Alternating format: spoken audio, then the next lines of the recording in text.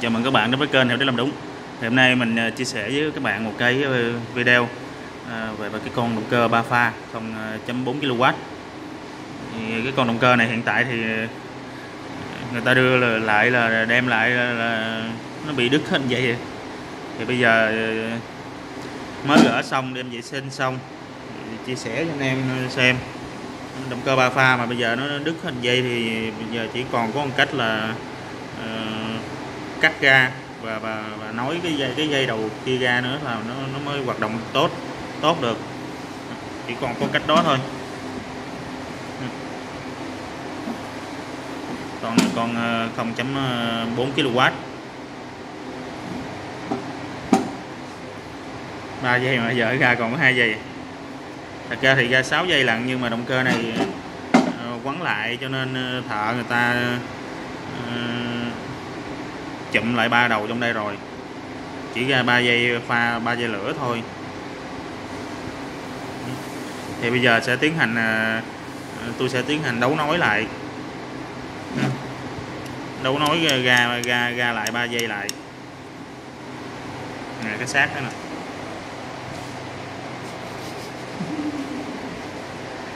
Còn con hộp số. Hộp số còn bình thường.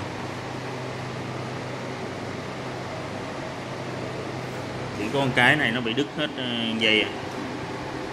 giờ ghi mẫu hàng vô. Ra dây lại nữa. Đây. Thì ờ, cắt ra, cắt ờ, cắt cái dây đai ra. Mình cắt dây đai ra thì mình một dây này, dây bên đây thì nó còn nguyên nè. Dây bên đây thì còn y thinh nè, còn dây này cũng còn luôn nè. Đây, còn dây đứt đây đấy.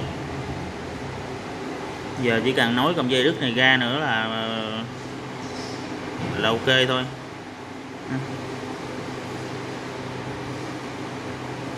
Lấy mẫu hàng hàng dây cọng dây ra. Đó. Hàng xong cái mình đai lại đai lại để, là, là, là ra đủ 3 giây rồi đem đi thử thôi đấy thì bây giờ dây đồng thì tước ra rồi cái mình, ờ, mình cạo cho nó sạch cái lớp ờ, ở ngoài rồi cái mình đây cái dây này tôi lấy một dây màu xanh nha. Luồn gan vào. Tiến hành xe lại.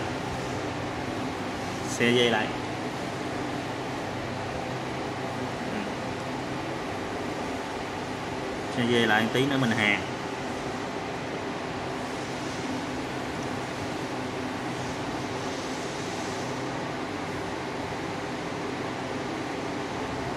rồi.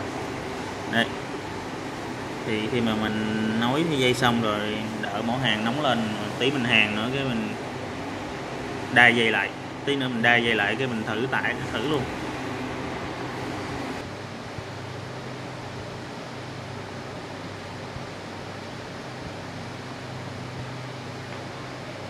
Thôi, bây giờ sẽ tiến hành à, hàng. Hàng chì lại.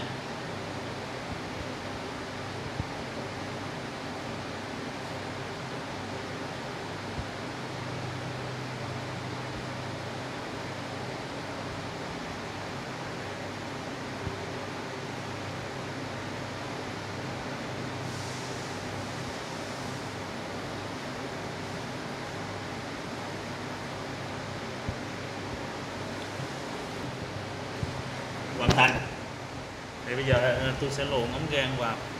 Đấy. và tiến hành đai dây lại nữa là xong. Đấy, thì bây giờ cơ này tôi đã lấy ờ, dây đai và tôi đai lại rồi. Thì bây giờ sẽ tiến hành kiểm tra chở nó ha. Dùng đồng hồ này, ha. kiểm tra đo điện chở.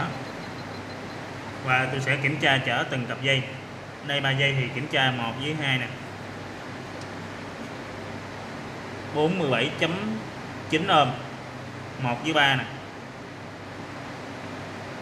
47.9 ôm, rất là đều ha anh em. 2 với 3 47.9 ba ba ba ba cuộn dây rất là đều nhau.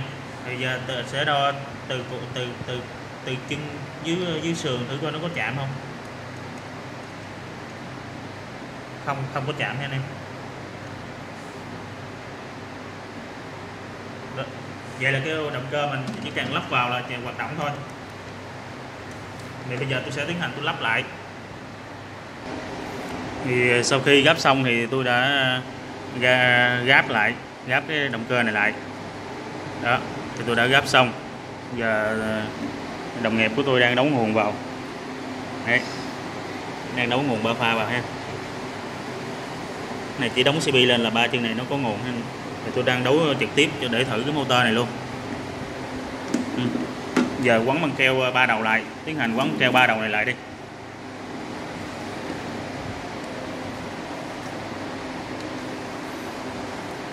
Cho nó an toàn.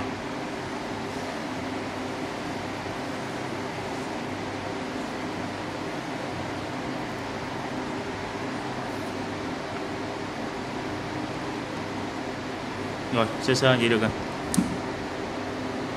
Ừ, quán dây cũng khá là chuyên nghiệp, vui vẻ quá, anh cười quá anh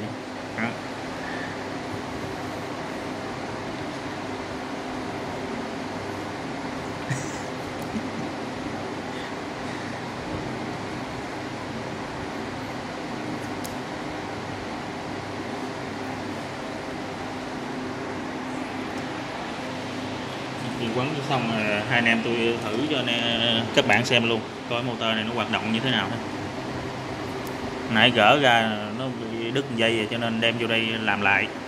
Thì bây giờ sẽ tiến hành kiểm tra lần cuối. Kiểm tra chở coi nó có, ờ, có gặp vấn đề gì không. Thì dùng cái em này tiếp tục ờ, kiểm tra điện chở cái nữa. Thì bây giờ sẽ dùng cái ờ, này đo từ cái vị trí này đo coi chở nó ổn định không ha?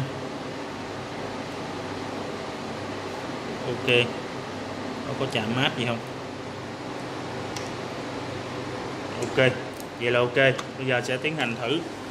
À, coi nó im không ha? Rồi bây giờ tôi sẽ tiến hành à, thử thử cho anh em xem ha. Bây giờ sẽ kẹp dòng vào. Kẹp dòng nguồn nguồn vào nguồn trên luôn đi ha. Đấy. bây giờ rồi rồi. Sẽ đóng lên nè động cơ hoạt động ha. Ampe thì 0.7 mấy ampe. Động cơ hoạt động ok hết nè. Giờ tôi chuyển qua pha màu vàng coi như ampe. Coi nó đều pha không? Đều ampe không ha? Cũng 0.69 gần 0.7 rất là ok. Ba pha ờ, rất là ok ha anh em Đấy. tốt. Motor hoạt động rất là rất là chuẩn men xin thân ái ờ, chào tạm biệt ha thì ờ, đem cái ờ, cái motor này đi ra lắp vào thôi.